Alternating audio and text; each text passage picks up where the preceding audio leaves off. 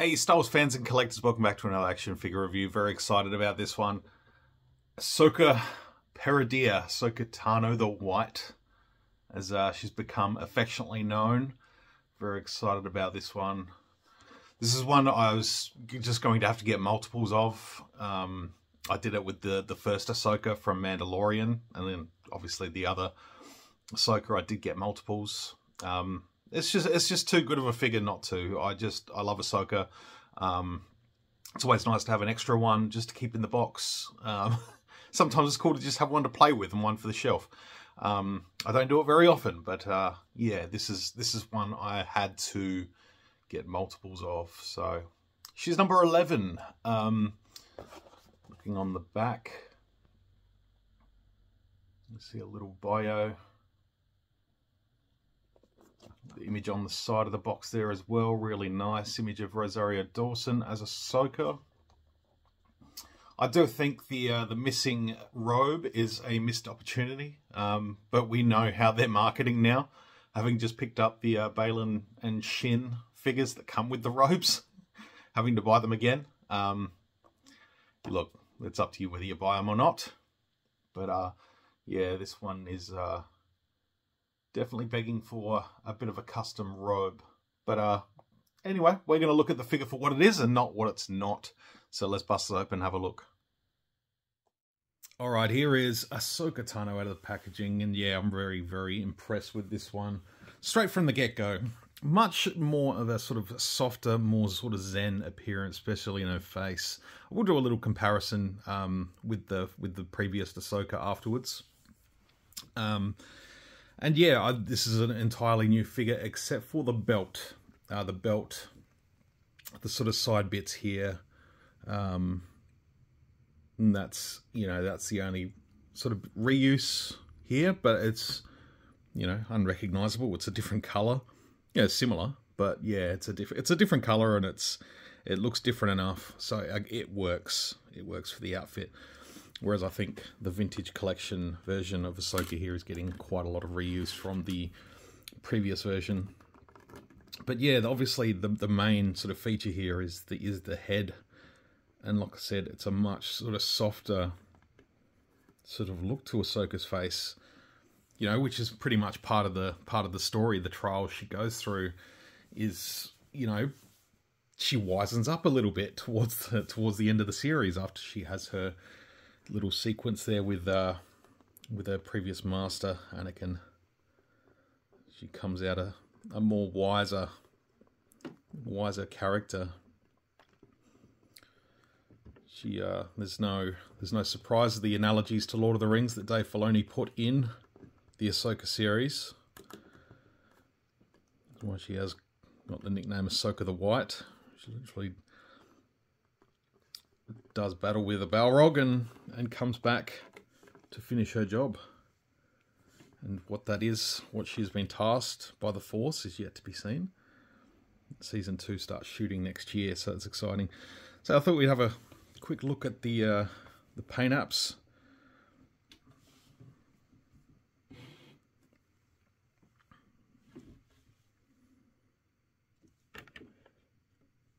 As you can see, really nice and clean.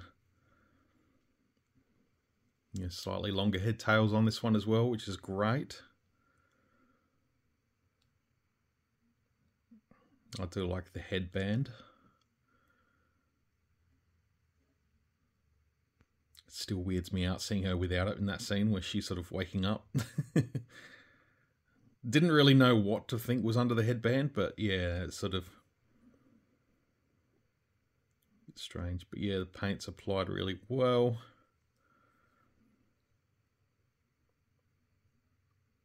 All those sort of blue, the blue lines, markings, the white markings on her face, cheeks and forehead. Looks nice. Yeah, the head sculpt is just remarkable. They've certainly uh, done a nice upgrade for this version. Paint seems to be nice and clean.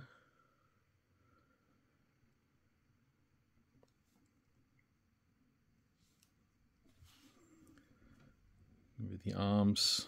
Definitely continuing on that sort of samurai sort of vibe with the armor on the gauntlets there. I like the way they're sort of just wrapped on, wrapped around her her arms there. The armor on the hands. Still rocking the the sort of the diamond patterns, the sort of um, cut into the fabric, which has definitely become something iconic for Ahsoka.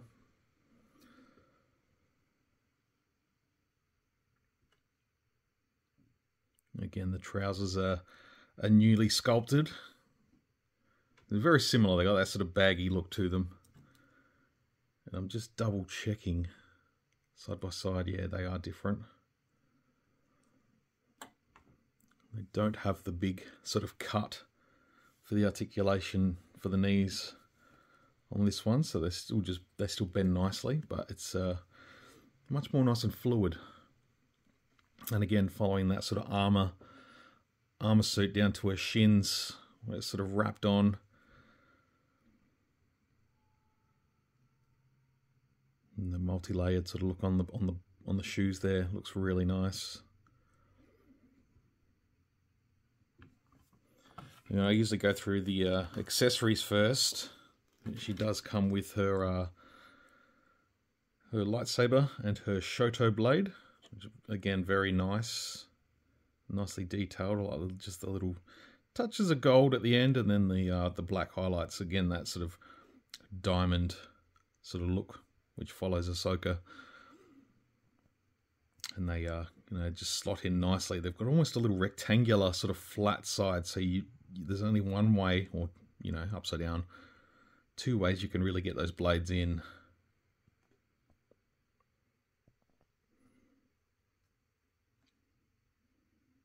So again, having them be able to be so simply removable is, is really nice too. They're quite a long peg too, so you're not going to risk too much breakage. yeah, really, really liking the look of this one. We'll go through articulation. It's got the uh, the ball joint in the top of the head and the neck. She's got a ball joint at the bottom of the neck there. She's got the ball hinge in the shoulders there. She's got the butterfly joints as well. They sort of rock back and in and out a little bit. So you get some good good poses out of her. She's got the uh, the torso articulation there. There's a ball and socket joint in there. ball hinge in the elbow, so you get a nice bit further than 90 degree bend there. The ball hinges in the wrists. You can get that up and down hinge on the left hand and up and down on the right hand as well. She does have the ball and sockets in the thighs there. As I showed before, the ball hinges in the knees. The ball hinges in the ankles, you can see, and then the rocker joint that goes through the front of the foot just to give it that sort of side pivot. Yeah, those sort of wider stances, which is really nice.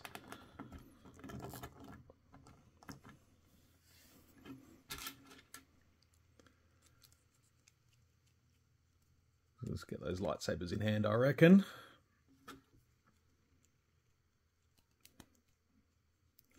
She does lose the, the smaller blade at the end of the season.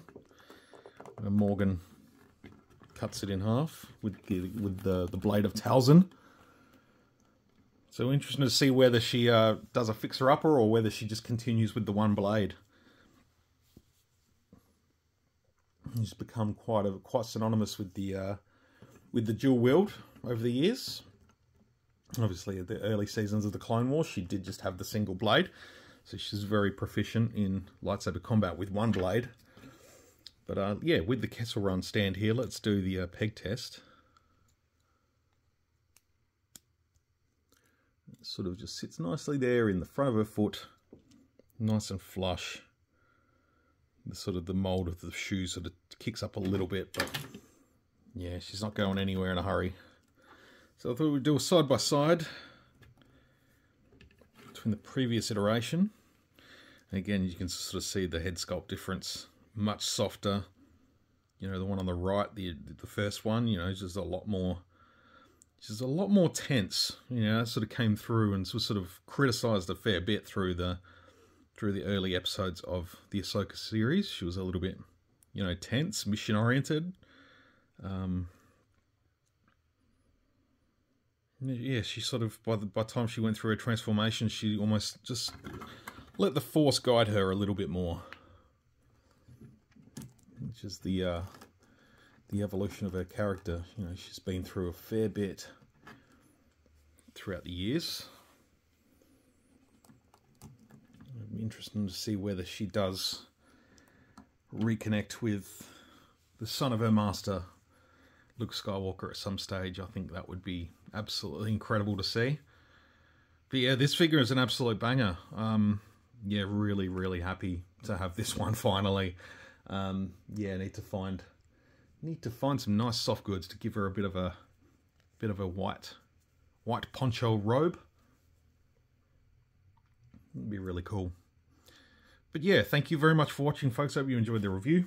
Give the video a thumbs up if you liked it. Subscribe if you're new. And uh, we'll see you again very soon for some more Star Wars action figure reviews. Till then, may the Force be with you always. We'll be right back.